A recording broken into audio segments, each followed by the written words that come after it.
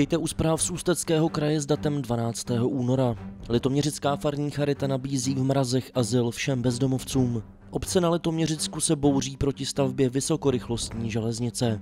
Město Roudnice nad Labem podpoří investiční akce financování pomocí úvěru. Pozvánka na online koncert Severočeského divadla v Ústí nad Labem. Středisko sociální prevence a humanitární pomoci, které v Litoměřicích provozuje místní farní charita, v těchto dnech praská ve švech. Jeho posláním je totiž pomáhat lidem bez domova a dalo se tady čekat, že jakmile udeřili mrazy, stoupl zájem o služby střediska až k maximálnímu naplnění kapacit. Přístřešek a něco teplého do žaludku či na sebe teď hledají i muži, kteří jsou jinak zvyklí přečkat zimu jen ve spacáku pod mostem. Venku je to neúnosný, jako je velký mraz a jsme rádi, že tady ten podnik u té Marie pomocí nám přijel vstříc, dostaneme polivku teplou a mm, můžeme se ubytovat dole do určité kapacity a jsme rádi, že jsme tady. No. Středisko sociální prevence a humanitární pomoci provozuje azylový dům, noclehárnu, nízkoprahové denní centrum a terénní služby. Na zvýšený nápor v době tuhých mrazů je dobře připraveno. Pomoc tu najdou i klienti, kteří jinak nesplní koronavirem zpřísněné podmínky pro pobývání v objektu. Kapacity máme v podstatě pořád stejné. Noclahárna, kde je pět lůžek, tak ta je teď pořád obsazená.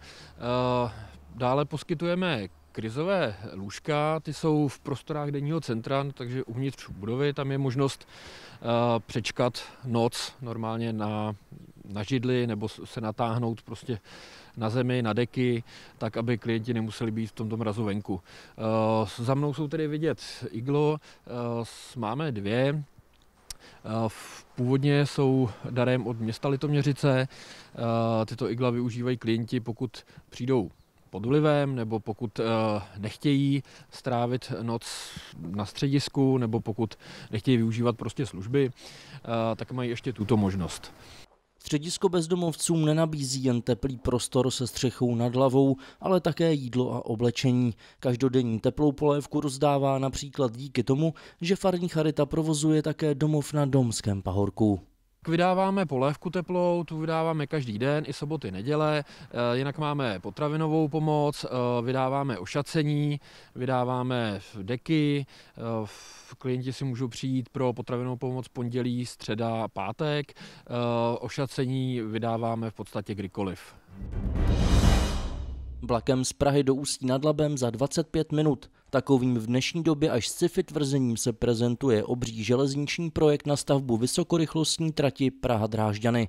Ministerstvo dopravy už schválilo realizaci železniční stavby za desítky miliard korun, která ovšem vyvolává celou řadu otazníků a také negativních ohlasů. Větší města v Ústeckém kraji se předhánějí v tom, kdo bude mít k dopravní tepně budoucnosti nejblíže a zajistí tak svým obyvatelům ultrarychlý přesun do hlavního města nebo německým turistům do Čech.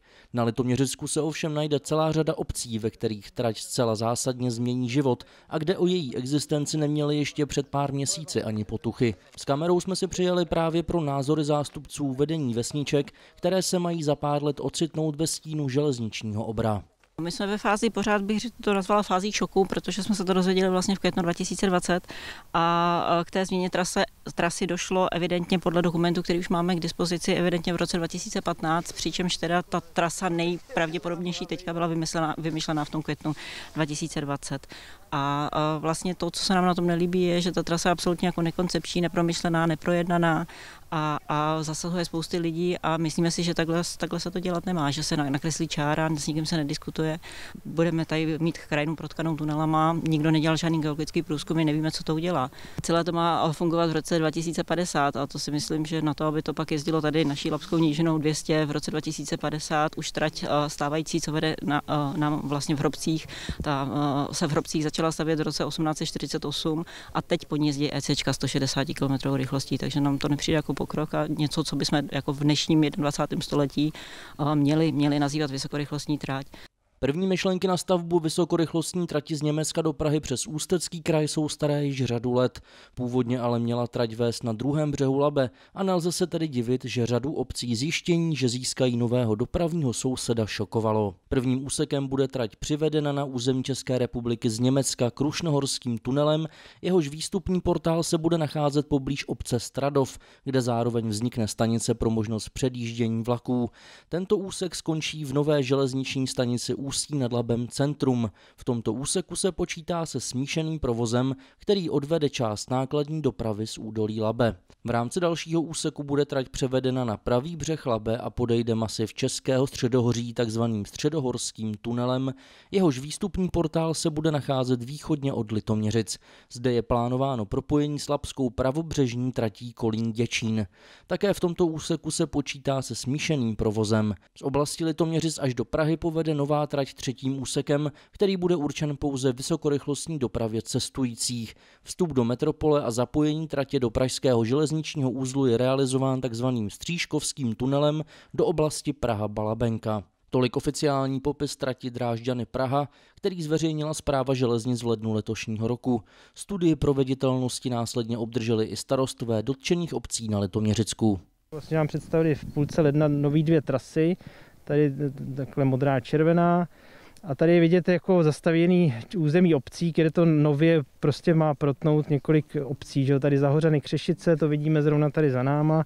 Pak jsou tady polepy okna, to jsou dvě části jedné obce, které vlastně to tady protíná. Pak Louky a Chodouny, tam je to úplně teda rozkrojení dvou částí obce, kde, které jsou velice blízko sebe a potom to jde přes řeku Labe tady na Hrobce, kde zase jako to Hrobce to zase tady protne, že jo, tady přes nějakou další zastavěnou část Libotenice, Hrobce, Židovice to najednou budou mít vlastně těsně za obcí, když to tady je ta vyznačená ta původní trasa, která je zakotvená v těch zásadách územního rozvoje. Tomu se všechny územní plány obcí teďka eh, po deset let přizpůsobovaly ze zákona a najednou během pár měsíců se ta trasa úplně změní a všechny ty územní plány bude moc vyhodit. Tady vlastně, když vidíme Zahořany, což je místní část Křešic, tak je tady docela dobře vidět i přes tu mlhu, že tamhle vzadu se nám eh, objevuje dlouhý vrch, to je vlastně Eh, směr na Ústí nad Labem, kde ten tunel vlastně přes České středohoří, který se přestěhoval z jednoho břehu Labe na druhý tím, tím, novým, jako, tím novým trasováním, tak má projít a eh, teďka podle těch nových variant se má vynořit tady přesně na tou vesnici a tady ty domečky, co vidíme na tom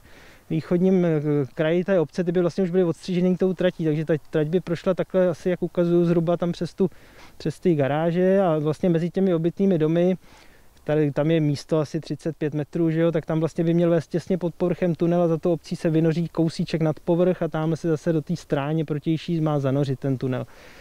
Teď si musíme představit ty rychlosti těch vlaků, to je 250 km asi ta návrhová rychlost, takže si představte, že se tady prostě vynoří a zanoří do tunelu jako touhle rychlostí, takže to znamená samozřejmě nějaké protihlukové stěny, no v podstatě to zlikvidujete tím, že jo. A potom jsou další, tady pod, pod náma by ten tunel měl projet a vlastně pokračovat potom na druhou stranu jako zase zpátky na Roudnici nad Labem a tam jsou další samozřejmě obce, které s tím vůbec nepočítali a v těch svých rozvojových plochách mají naplánovaný nový e, domy, povolený čerstvě třeba domy nebo čerstvě postavený a co ty lidi teda budou dělat, to opravdu je představa strašlivá. No. Rozsáhlé změny ve vedení trati si vyžádají také změny v zásadách územního rozvoje Ústeckého kraje.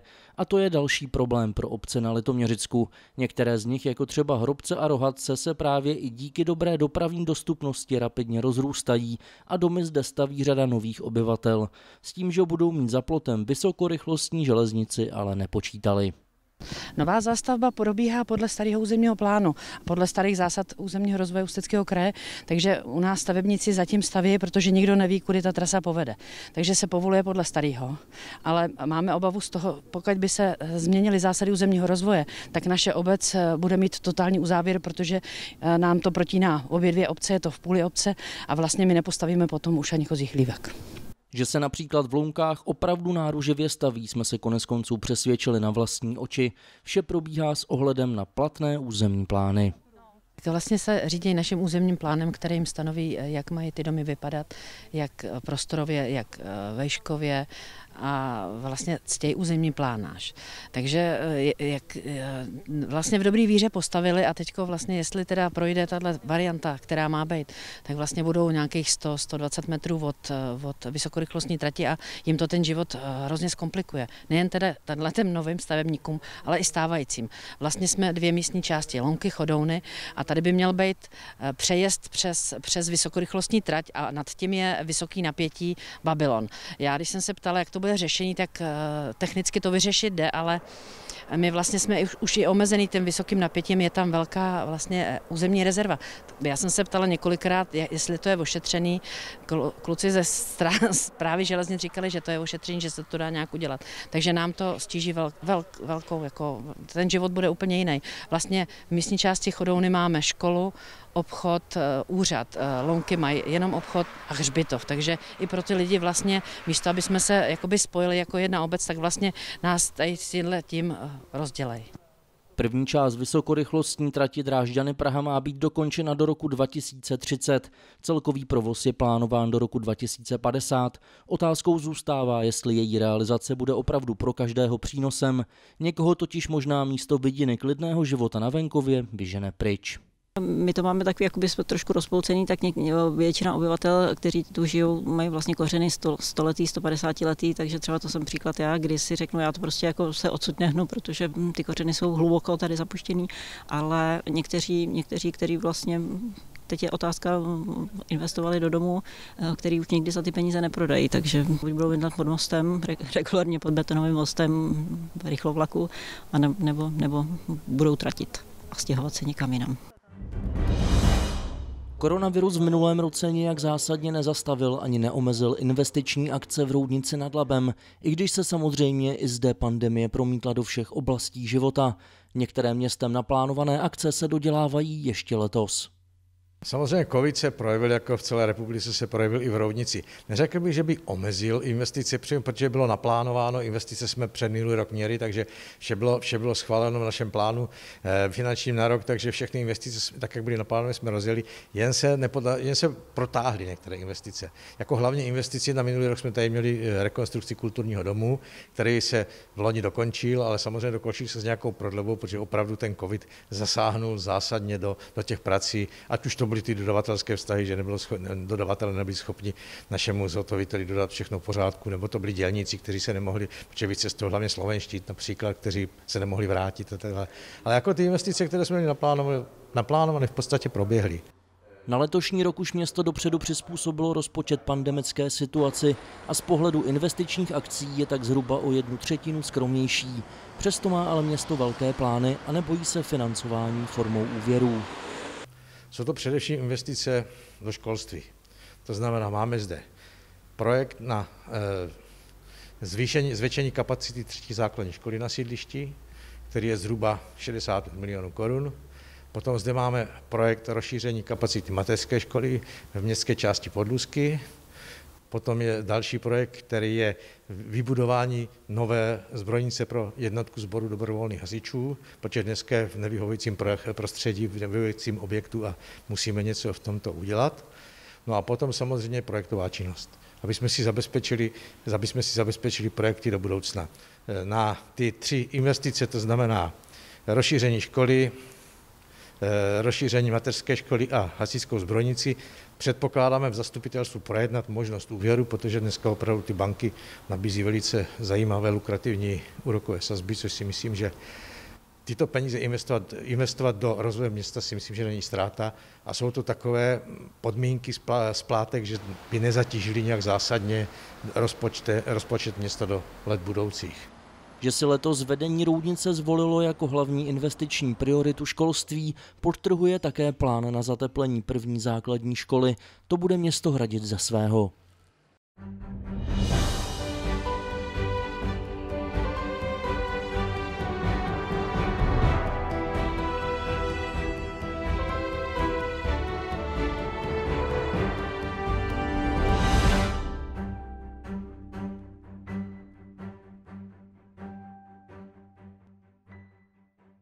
Vážení přátelé, opět v divadle, opět v době, kdy prostě ještě to světilko v tunelu eh, koronavirových záležitostí pořád se nějak tak vzdaluje Takže dnes je to koncert Big Bandu Severočeského divadla s baletem a se zpěvačkou, abychom se připomněli, že tady jsme a že pořád na vás myslíme.